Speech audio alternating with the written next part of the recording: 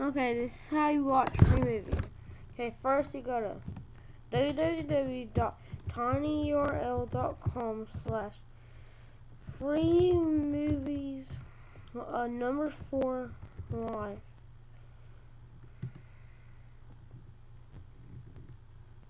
Then you complete the survey.